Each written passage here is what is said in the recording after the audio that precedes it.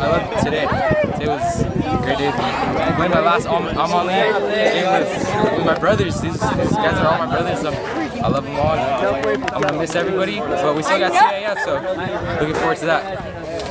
You've seen all season, it's kind of been like that all season, so I've gotten used to it. I got a bit used to it, and it made me a better pitcher this season, made me a lot of a better pitcher for next year and whenever I, whenever I pitch. So I'm looking forward to, to keep pitching for CIF and to go further than that. I think we could be extremely dominant. I think we could go back to Dodger Stadium if we hit. That's, that's the thing we got to do. Our pitching, our defense, I'm not worried about.